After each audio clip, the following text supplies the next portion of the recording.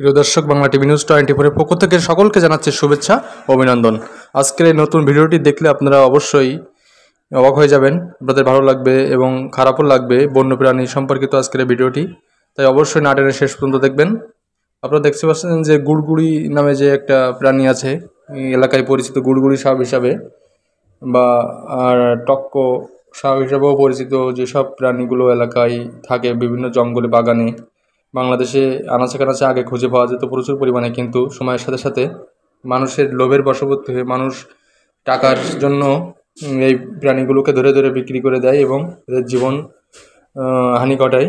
তো আজকে কিন্তু এই প্রাণীগুলো আর দেখতে পাওয়া যায় না।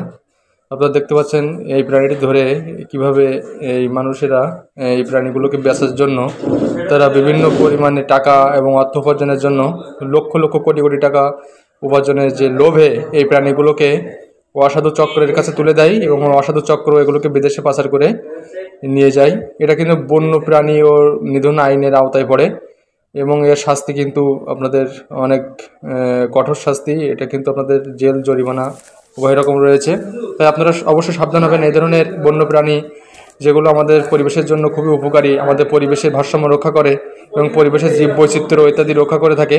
তো এই প্রাণীগুলোকে যেন কোনোভাবে কোনো অসাধু চক্র, কোনো লোভী ব্যক্তি ধরে নিয়ে যেন বিদেশে পাচার করতে না পারে এবং এগুলো যেন হত্যা করতে না পারে, সে সম্পর্কে আপনারা সকলে সজাগ থাকবেন এবং আপনাদের আশেপাশে যদি কেউ এই ধরনের কার্যকলাপ করে থাকে, কেউ যদি এ ধরনের প্রলোভনের ফেলে আপনাদেরকে, তাহলে অবশ্যই সেগুলো প্রশাসনের কাছে এবং সমাজের যারা ব্যক্তি আছে তাদের কাছে দিয়ে দিবেন তথ্যগুলো।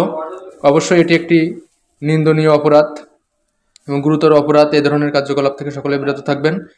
আর এই যে গুড়গুড়ি সাপ বা টক্ক সাপ যেটাকে বলে, এগুলো কিন্তু আদৌ কোটি কোটি টাকা বিক্রি হয় না। এগুলো কিছু মানুষ লোভের বশবর্তী ধরে নিয়ে প্রতারণার শিকার হয় এবং এগুলো কিছু কিছু মানুষ আছে তারা এগুলো ব্যবহার করে বিভিন্ন ধরনের কবিরাজি কিংবা বিভিন্ন ফর্মুলা ওষুধ এগুলো তৈরি করে।